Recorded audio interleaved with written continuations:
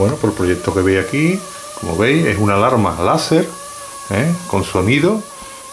¿eh? Como ahí veis lo que es el láser, aquí lo tenéis. Le estoy echando vapor de agua para que se vea. ¿eh? El rayo láser está alimentado el, láser a 3 voltios, como veis aquí, es independiente y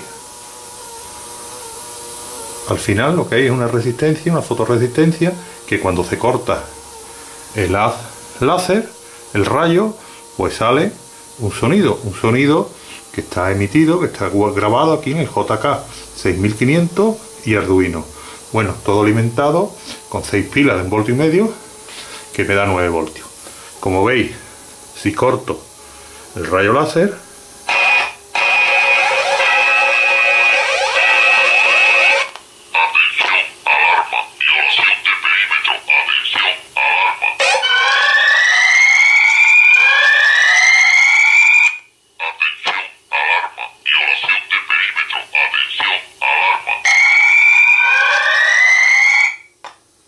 Bueno, pues este es el proyecto.